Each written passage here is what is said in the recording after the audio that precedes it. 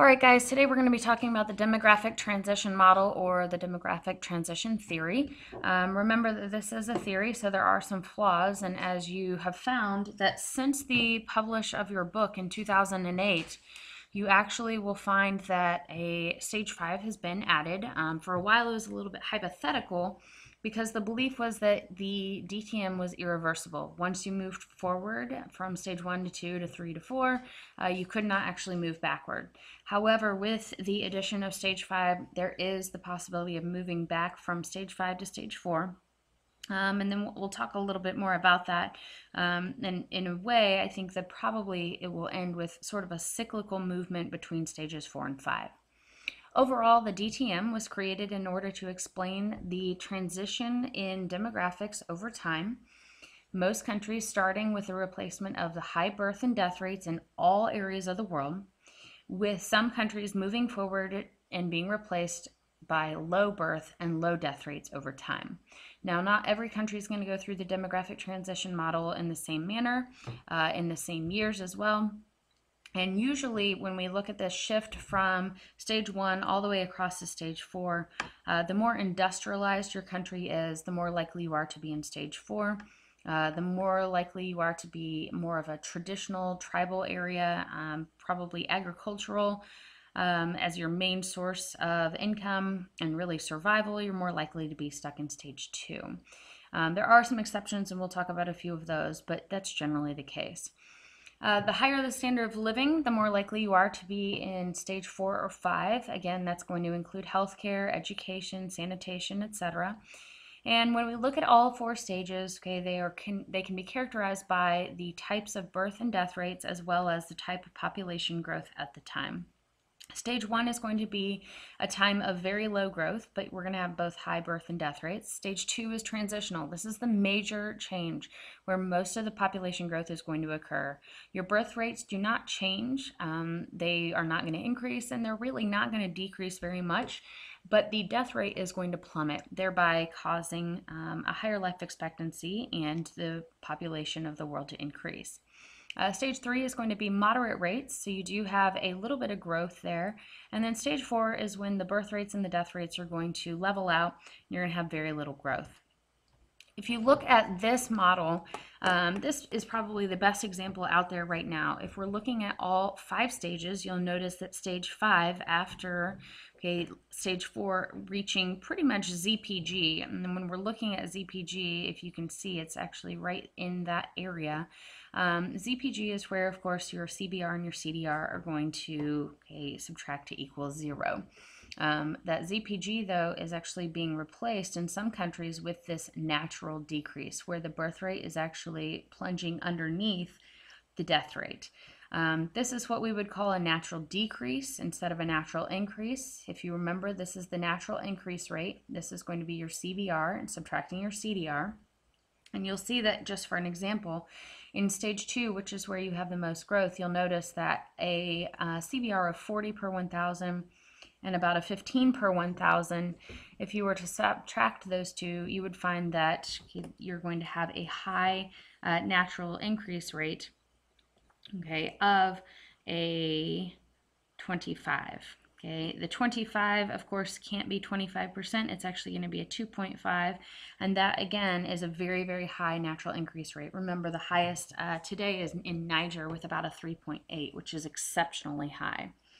Um, you are going to find, though, on the stage 5 side, that there is going to be a natural decrease rate. And this is where your CBR minus CDR is actually going to equal a negative number.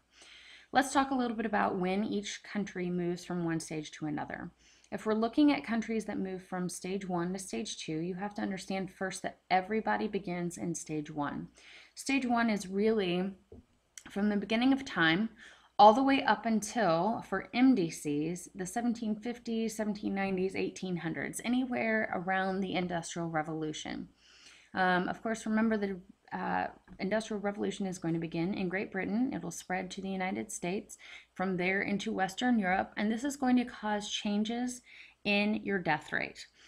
The death rate was exceptionally high in stage one because of several factors, but mostly due to famine, lack of food, or disease. And again, a lot of that has to do with sanitation, and um, access to clean water.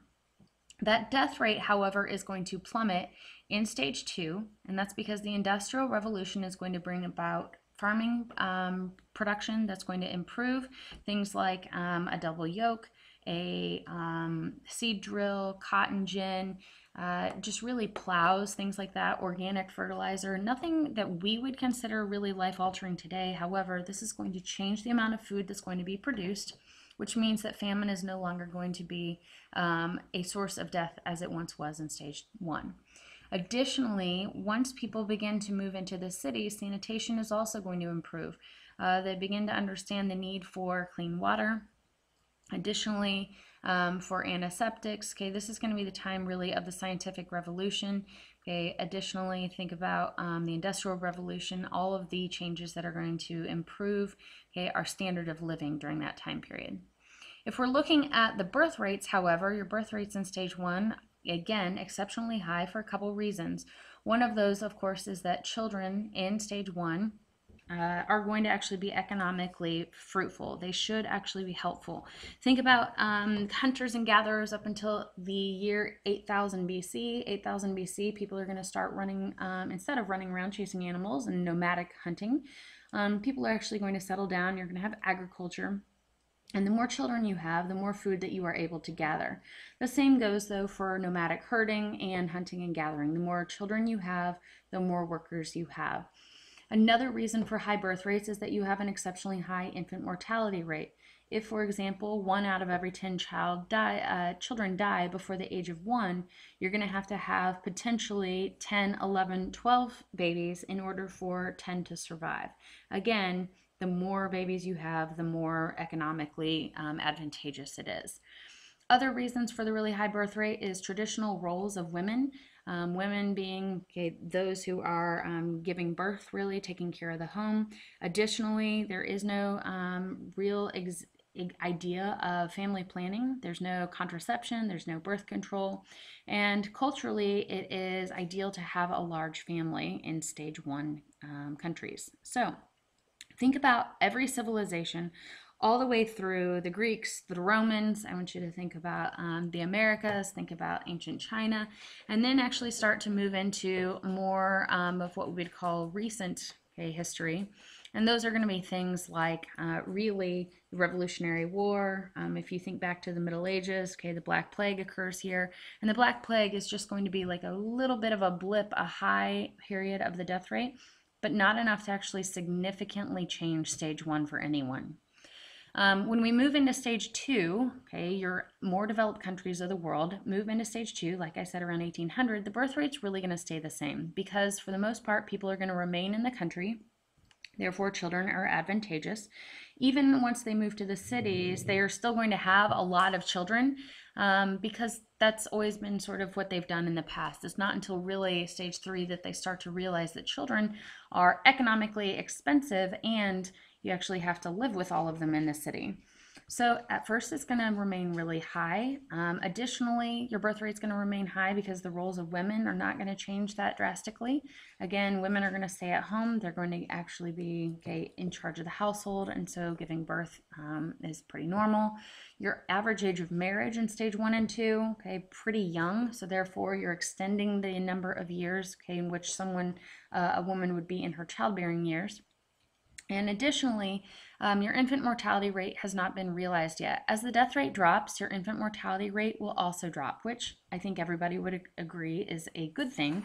However, if you had 11 to 12 children because you thought that one or two would not survive past the age of one, once you reach stage two and the death rate drops, those one or two, okay, Jimmy and Susie, may actually end up surviving when you thought that they may not. So now those are extra mouths to feed. Um, a couple of those okay, things, though, of course, are going to keep us in that high birth rate area in stage two, uh, along with the lack of access to birth control. When we look at the MDCs of the world moving into stage three, a lot of these are going to happen in the early 1900s um, up until about the 1950s, 1960s. Um, and really, those early 1900s is where your birth rate is going to drop your birth rate begins to drop, particularly when people start to move into the urban areas. As they move into urban areas, children can no longer be sent out to go gather food, and instead, children are sent out to go to school. And because of that, they're not providing food for your family, and instead, they actually are demanding food from your family. So now you actually have to be that much more productive in order to provide for your children. The more children you have, of course, the more economically okay, um, really uh, you're going to be strained. So, as um, people started to see that, they also saw that they were having to live with the children um, in the cities, especially once people first started moving to the cities during really the Industrial Revolution. You're going to have um, families of 9, 10, 11 children living in two bedroom households um, and really being cramped in. Um, things obviously, resources are going to be okay, in demand. Um, and if you are a sibling of one of those nine or 10 okay, children, you probably will decide that once you get older, you will not have nine or 10 children. Um, additionally, education is going to improve. The longer that people are in education, the shorter the time period of years that they're probably going to be in the childbearing age. Um, for example, if you go to school until you're 16, you get married at 16, that's going to increase the likelihood of you having more children than someone who, say, would go to school until they're 18. Um, additionally, at the very end of stage three, you're going to see that the birth rate really plummets quite a bit. Okay, and in stage four, this is when you're really going to have from the 1970s onward. This dip in the birth rate is going to be caused by a couple factors. One of which, of course, okay, continued urban living, which means that children are still expensive.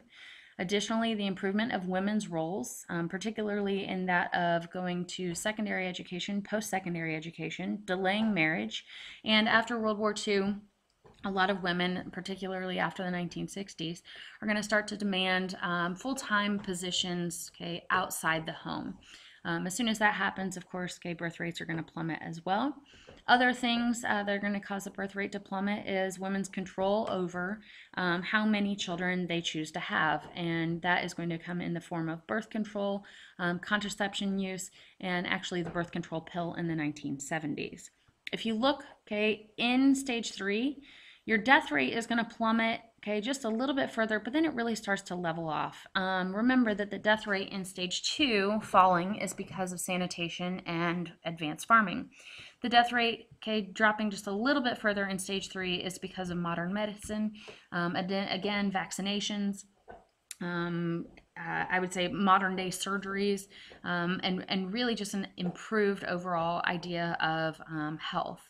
That can't continue to drop though. Um, if you think about it, okay, your birth rate um, can continue to drop, okay, to the point where it equals zero, but our death rate really can't um, because, of course, everybody dies at some point. So the death rate is going to level off. And in stage three, we have what is called a moderate growth rate. There's still some growth. If you look at the CBR and the CDR, you have about a 30 and additionally, you have about a 15 or a 10 at some point. So by the time you get done with K stage three, you're actually going to see a much lower level of growth, but it's still there. Stage four, your death rate has stabilized. Okay, your birth rate, as I mentioned, because of social factors and social customs, okay, has actually gotten to the point where it has potentially met that crude death rate. Um, when they meet, of course, that's going to be called ZPG, zero population growth. And keep in mind that a total fertility rate of a 2.1 is necessary in order for you to reach ZPG.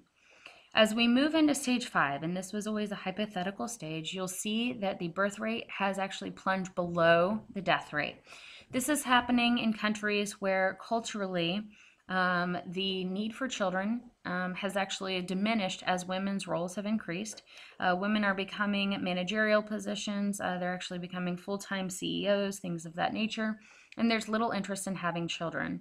Um, additionally, it's incredibly expensive to live in these urban areas, and people are wanting to spend their hard earned money on themselves.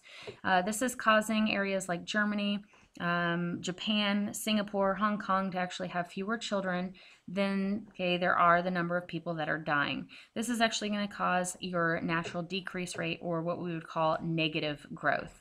Um, this is going to be our declining period. We don't know if it's going to continue to decline or whether or not it will actually cycle back into stage four. Perhaps they understand that they need to improve the birth rate um, and increase it, which would then cause them to move back into stage four. Okay, but then again, you can also go down and move back into stage five. Um, so it's likely that there's going to be some cycles, okay, between four and five. Keep in mind all of the countries, okay, that would be in, be in each stage. And additionally, um, stay tuned for